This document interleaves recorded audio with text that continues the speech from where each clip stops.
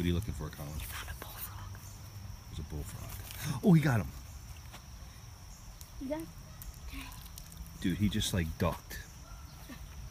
parkour. All right, guys. So I just call it the North American bullfrog.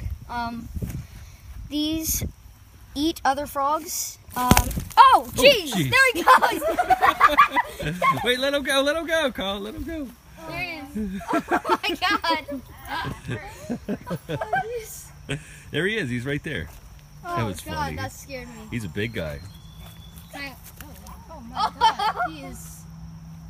I, uh, I see him still, So but how how big do they get, Colin? up to six inches in length, and they have no are known to um have ex. like well, they, they have uh, made like hundreds of other species of frogs extinct, and they are known to grow um up to be at least one and a half pounds. Okay.